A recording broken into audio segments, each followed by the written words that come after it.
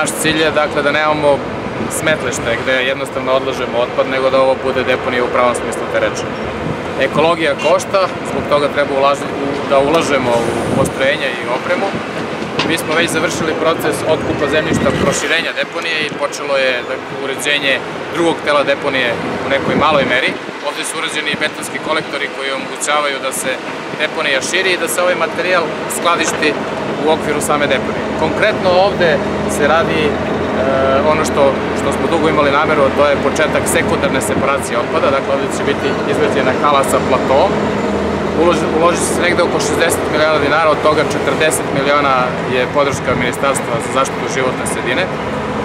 Ali da bi, da bi ova hala bila u funkciji potrebno je uložiti još otprilike toliko para u samu halu i još oko 100 miliona dinara u postrojenje i mehanizaciju koja će upravljati sekundarnom separacijom. Dakle, ima još dosta novca da bi ovaj objekat koji je ovde počeo da se gradi profunkcionisao.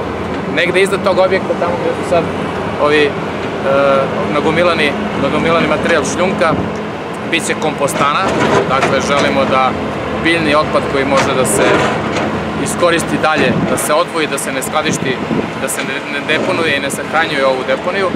Već smo e, dobili podršku Ministarstva za izradu projekte dokumentacije za kompostanu, dakle to je još jedan projekat koji će ovde zaživeti i na taj način mi pokazujemo da e, brignemo o životnoj sredini, Vi ste svedoci da radimo i obnovu vodovodne mreže, kanalizacijone mreže i zaista mislim da kada završimo postrojenje za prišćavanje otpadnih voda koje je izvesno, uopšte nije više neizvesno, da ćemo biti pravi ekološki grad.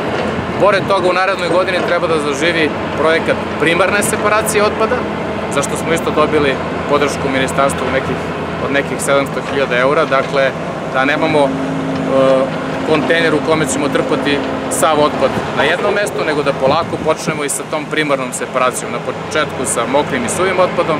Suvi otpad je otprilike ambalaža i ono što može sutra ponovo da se e, koristi, da se, da se reciklira, a mokri otpad je nešto što će možda kroz sekundarnu separaciju deo toga da ide i u kompostanu. Dakle, cilj nam je da pravilno upravljamo otpadom i da što je moguće više ova deponija koja je ovde napravljena živi, da ne tražimo novu lokaciju, da za par godina, 7, 8, 9, 10, ne znam sad da, da ne licitiram, neki novi ljudi traže novu lokaciju, nego da ova i dalje postoji i da dobro živi.